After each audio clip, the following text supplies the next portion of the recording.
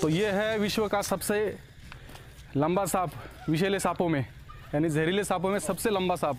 लगभग इसकी लेंथ यानी इसकी जो हाइट लंबाई है, लगभग 18 से 20 फीट बढ़ती है।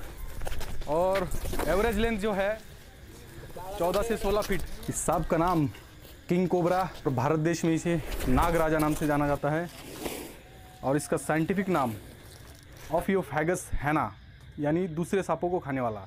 ज़्यादातर ये इसका खाना जो है दूसरे सांप ही है बड़े बड़े सांप होते हैं लंबे लंबे इंडियन रैट्स ने खास करके ये ज़्यादा खाता है। बहुत ज़्यादा वैसे तो कोबरा भी खा जाता है रसल्स वाइपर भी खा जाता है अन्य हर कोई